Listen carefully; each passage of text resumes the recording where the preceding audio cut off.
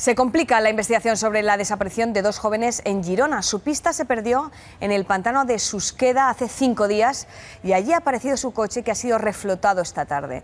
En uno de los pedales había una piedra atada, lo que refuerza la hipótesis de que el vehículo pudo ser lanzado a propósito al agua. De la pareja, ni rastro.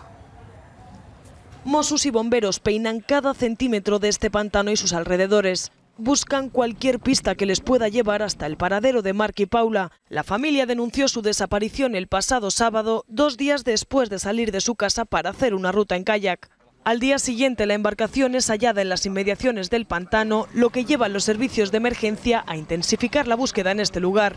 Una pequeña pista les conduce hasta su vehículo. Se divisó unas, unas unas zonas de marca de ruedas y, luego pues se encontró el coche en el interior del agua. El turismo aparecía con una piedra atada en uno de los pedales. Los Mossos barajan la hipótesis de que podría haber sido arrastrado hasta el pantano. El coche ya ha sido reflotado. En su interior, ropa, material de acampada y documentos, pero ni rastro de los jóvenes. Reafirma un poco más la hipótesis que pueden estar dentro del pantano y es donde vamos a centrarnos sobre todo a partir de mañana. Para ello, perros especializados en rastreo subacuático acuáticos se han incorporado a la búsqueda de Mark y Paula. Su caso se complica a medida que se van conociendo nuevos detalles sobre la investigación.